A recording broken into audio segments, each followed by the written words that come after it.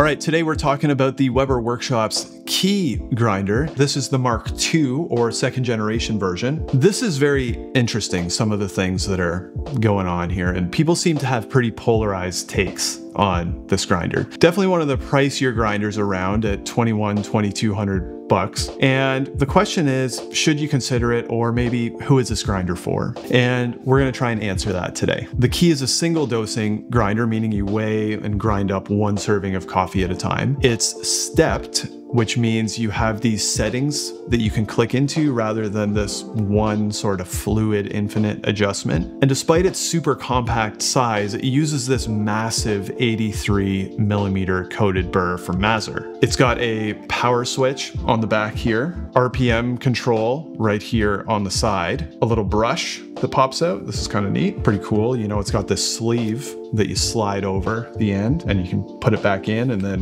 when you pull it out again, the sleeve is pulled back. It's very cool, very artisanal. And then an on and off switch, which lights up right here. You load the beans right in here, drop this little lid down, and they'll come out in this little catch cup that they call the magic tumbler. More on this in a bit. This specific grinder is on loan to me from Weber Workshops. It's gonna need to go back to them once I'm all finished here. Now, if you're not familiar with Weber Workshops, they make several different grinders and coffee accessories produced in relatively small numbers and at very high quality. All the products are designed by Doug Weber, who's an ex-Apple product person, and Weber Workshops is based out of Japan with a, another small assembly workshop in Taiwan. And Weber grinders have a very interesting interesting dynamic that goes along with them. Because they have that higher price point, people generally tend to look at them online for a long time before they ever end up buying one. My first kind of serious coffee grinder was called a ROK grinder, and it was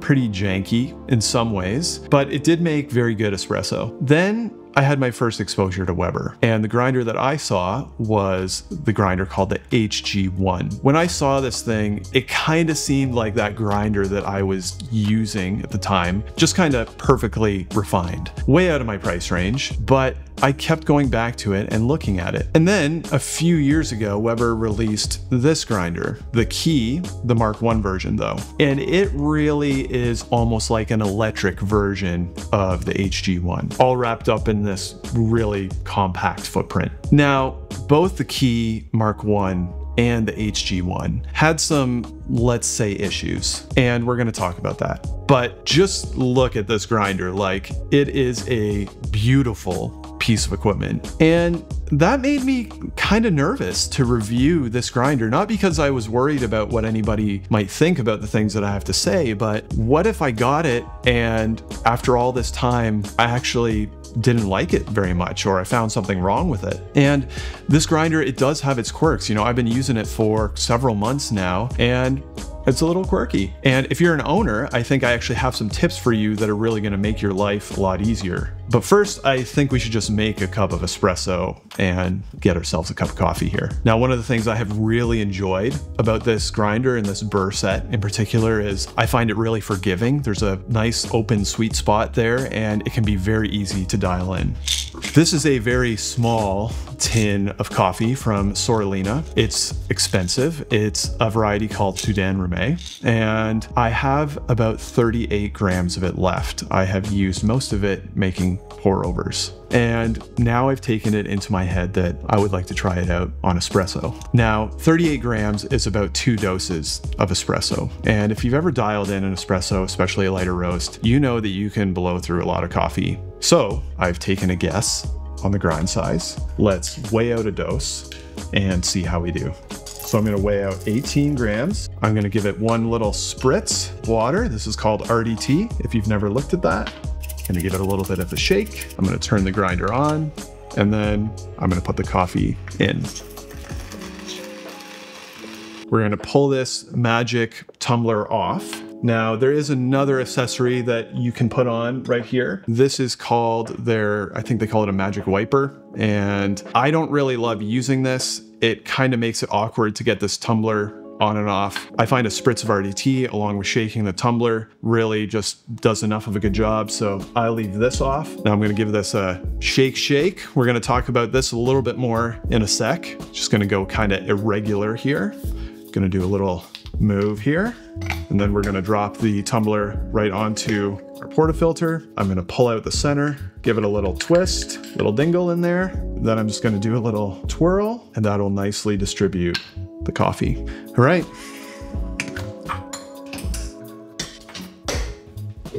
So I got very lucky there. Time wise, it dialed in exactly where I was hoping to. Let's see how it tastes. All right. Okay, that is uh, really good. Wow, very round, very sweet, nice acidity coming through, nice milky texture. Mm, I'm even getting some uh, some florals, very fruity. Mm, very good. Okay, that is a great shot. And that has been my experience with this grinder. You get your coffee, you try to dial it in, and odds are you can usually get pretty close to where you want to be with it within the first shot or two. And even if you don't, the flavor tends to be pretty forgiving and pretty good. Now, I do want to talk about the burrs here for a minute. And we really should look at the differences between flat burrs and conical burrs because a lot of the grinders at this price point are going to be flat burr grinders. Now, often you'll see it generalized that conical grinders will give you this thick, syrupy, traditional style of espresso shots. You know, not a lot of definition, sometimes a little muddy, but tending to be very sweet and syrupy. And then you have flat burrs, which tend to be more known for their lighter body, better flavor separation, clearer profile. The reality is there is a lot of overlap, but that's a generalization that a lot of people make. As far as this specific burr is concerned,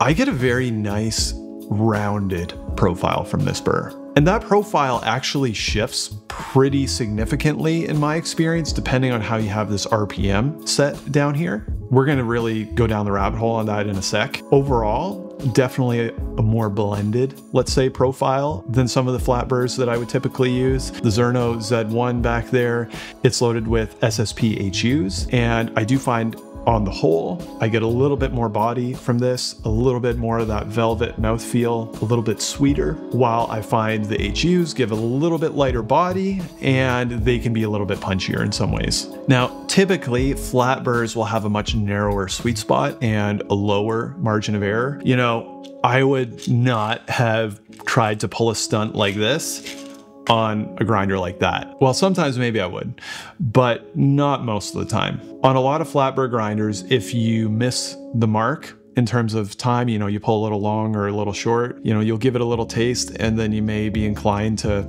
pass that shot to the sink. With this grinder, however, I was finding it was a lot shorter of an on-ramp to a very delicious shot. And even if I was a little long or a little short, I was finding still the shots were generally pretty enjoyable to drink. And the reason for that is something called particle size distribution. Basically, what are the different sizes of all the little pieces of coffee that are kind of coming out of here. On a grinder like that, all the particles are going to be a lot closer to being the same size. A grinder like this, it's going to have more what's called boulders, large particles, as well as more fines, little tiny dusty particles. And that brings me to something else a little bit strange that you saw me doing. Shaking the grounds.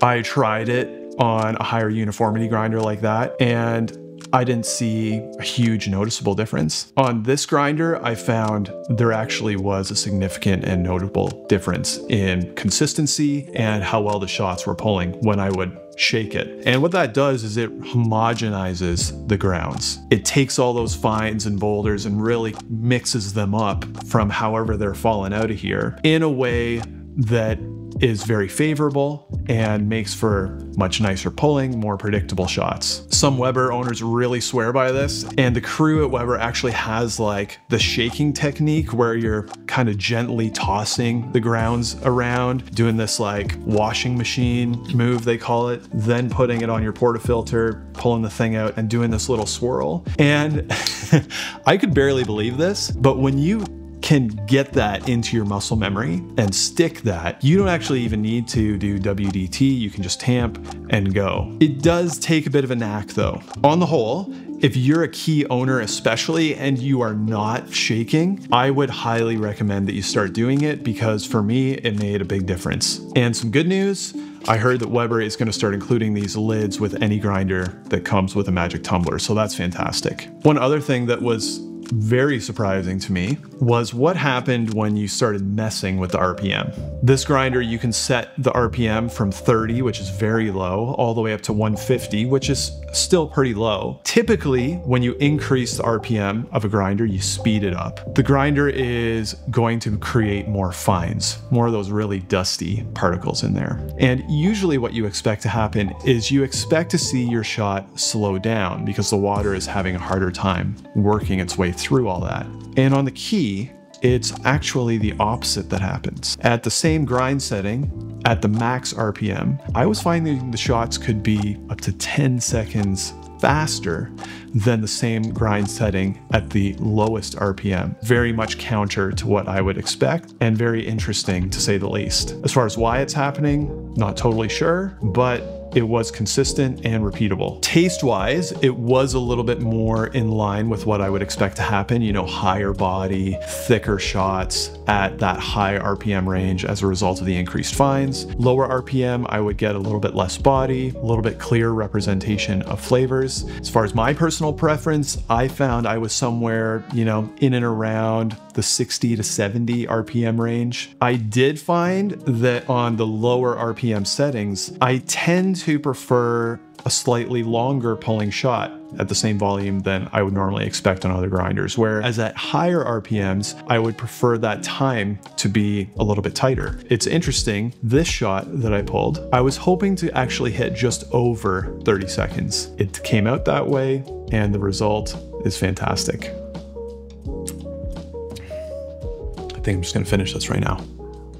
Mm. So let's just say there's some very interesting flexibility when it comes to crafting the taste profile that you want. It is going to be generally within those lanes though of more approachable, rounder, a little bit more blended. Okay, let's talk about some tests. Volume wise, I was finding at low RPM, it would come in, you know, mid to high 60 decibels, very quiet grinder. At high RPM, it was still quite quiet, coming in at about 10 dBs hotter, mid 70 dBs. As far as seasoning the burrs, Weber says they come, you know, kind of pre-seasoned. I definitely did find that they settled in over time. I ran about five kilos through and I did find it made a difference. What I will say is as long as I was shaking, the shots were enjoyable from day one, but they did get better over time. Retention on this grinder, it's billed as like a zero retention grinder, and in my experience, that was more or less true. What you put in, you tend to get out as long as you're using that RDT. Now, if you don't want to do RDT, they do include the wiper, but as I said, it's a little awkward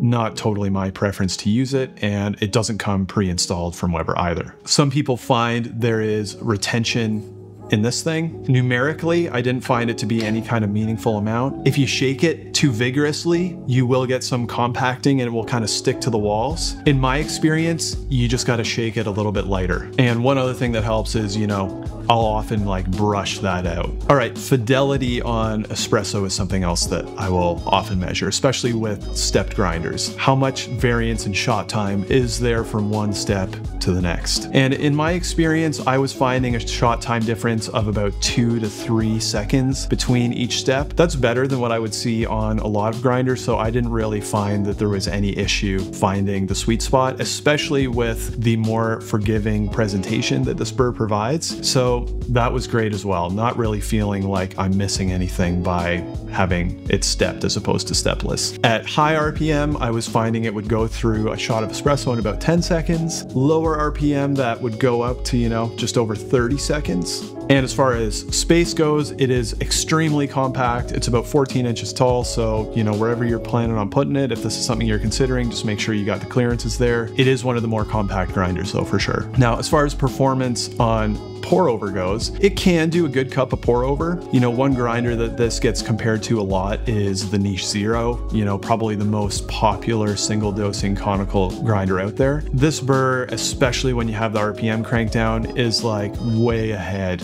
of the Niche Zero in terms of quality on pour over. But if you're a pour over first person, like that's your primary use case, I would say that there are other grinders that will give you a better cup of pour over for a lot less money. I found that gap was a little bit smaller on immersion brews. So if you're doing something like French press or AeroPress, or you have a Weber Bird as well, that gap kind of closed a little bit. Still, I would consider this an espresso first grinder for sure. So overall, we seem to have some great tasting shots, solid performance. And at this point, I would typically go online and start trying to unearth some issues that owners may have been having with this grinder and see if I can replicate those for myself. And this is where you turn up a lot of stuff around the HG1 and the Key version Mark 1. You know, with the Key Mark 1 in particular, you saw a lot of people struggling with stalling while grinding for light roasts, particularly at low RPM. Weber made some changes for the Mark II, and I've put a lot of light roasts through this grinder, and I haven't had any issues with that. To really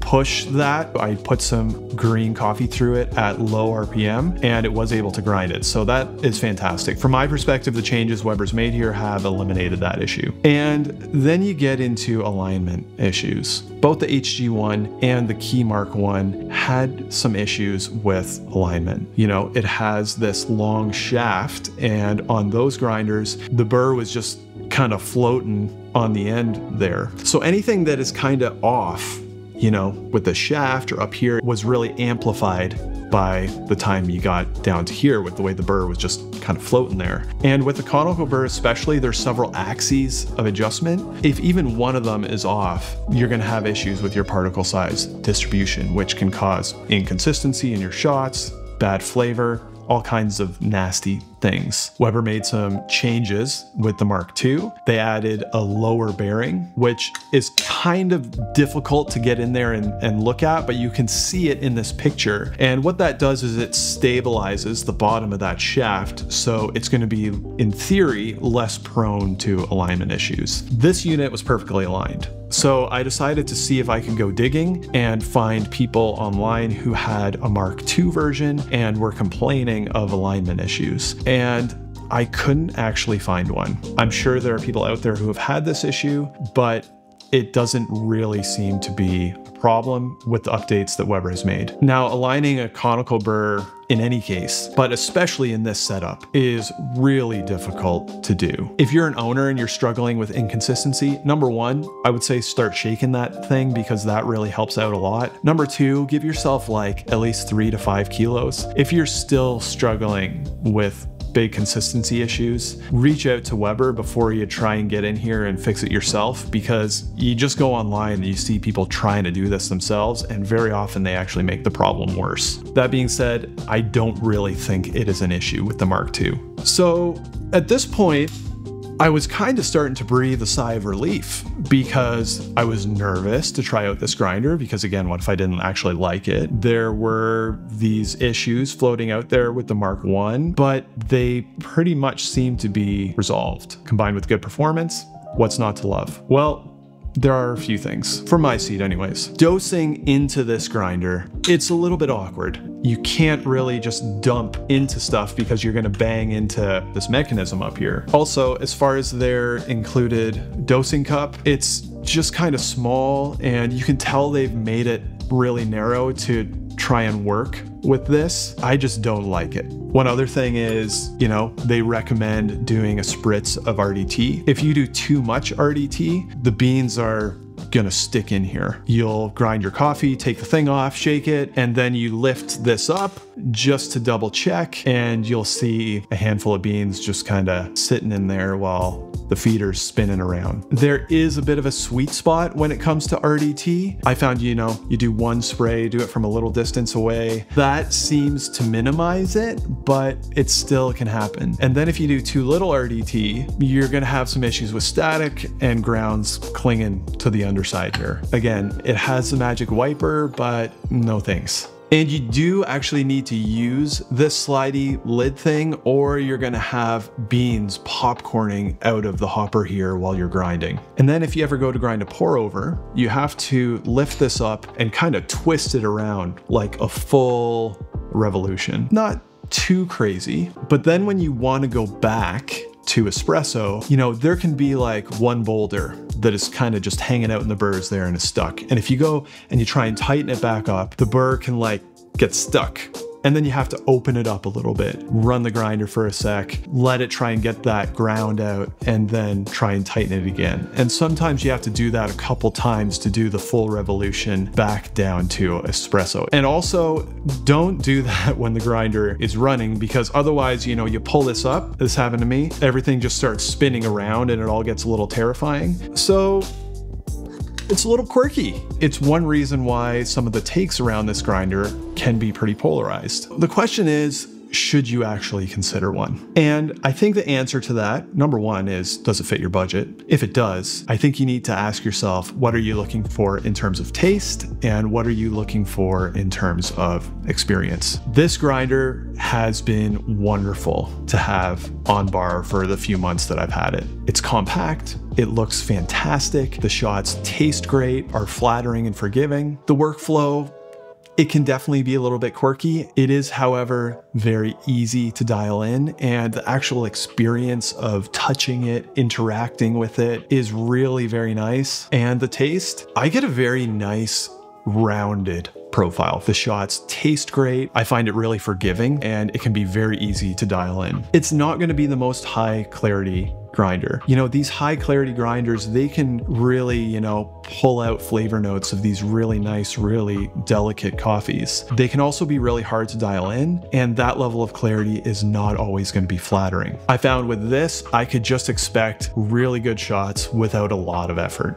And as far as a lot of those workflow quirks, the overall experience of using it drinking the shots from it, the ease of dialing in made a lot of that stuff a lot more palatable. So I think you need to ask yourself, what are you looking for? You know, if you're going to spend this amount of money, is that the experience that you want? Or are you really looking for that higher clarity, higher flavor separation that's available with grinders like the EG1 or even the Zerno Z1 or other flat burr grinders? And I'm just going to name this. For some enthusiasts, once you start looking at grinders of this price, you actually start looking at more than one and having complementary grinders on your bar for different uses. You know, when I wake up first thing in the morning and the kids are, you know, doing whatever, I don't want to be fussing with dialing in a coffee coffee. I want to go whichever way the wind blows, pick the coffee that I want, take a flyer, and have a great cup. However, once they get on the bus, they're gone for the day. I really enjoy sitting down, tweaking things, and trying to get that highest clarity shot that I can. So having these two grinders on bar has been very nice. But if you are in the market for one grinder, there are going to be compromises. And I think that there is a lot of freedom to be found when you recognize that every grinder that you're going to look at is going to have compromises and you just need to choose the right set for you. If this video was helpful at all, I would love for you to subscribe to my channel. It's a free way that you can support me making more of these reviews. And I also want to hear your take on this and the key in particular. Are you looking at it? Are you considering it? How are you weighing that decision? Are you maybe an owner? If you are, drop your experience so that people who are maybe considering picking one of these up can get another firsthand account. I hope your next cup of coffee is fantastic. This one certainly was, and we'll see you next time.